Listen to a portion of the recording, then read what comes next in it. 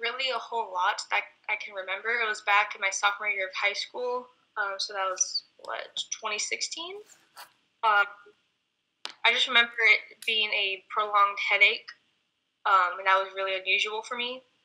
Um, it's hard for me to focus in class.